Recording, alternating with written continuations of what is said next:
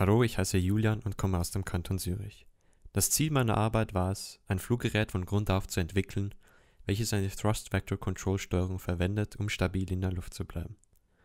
Dafür musste ich das Fluggerät in CAD-Software designen und 3D drucken, einen Flugcomputer entwickeln und einen Regelungsalgorithmus implementieren. Das Fluggerät wiegt 2 Kilogramm, ist 0,7 Meter hoch und hat im Inneren einen Impeller, der den benötigten Schub für einen Schwebeflug liefert. Für das Thrust Vector Control habe ich einen Gimbal-Mechanismus designt, der es ermöglicht, die Düse des Fluggerätes, wo der Luftstrahl herauskommt, in zwei Achsen zu bewegen und damit den Luftstrom umzulenken. Dies geschieht mit Hilfe von kleinen Servomotoren. Im Inneren der Düse sorgen vier Flügel für eine leichte Verdrehung des Luftstromes, damit das Moment des Impellers ausgeglichen werden kann. Einen dieser Flügel kann man dabei ebenfalls mit einem Servo ansteuern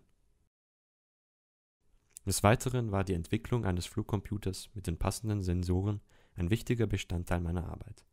Auf diesem Computer konnte ich einen hergeleiteten Regelungsalgorithmus implementieren, der dafür sorgt, dass das Fluggerät stabil in der Luft bleibt und Störungen von außen ausgleichen kann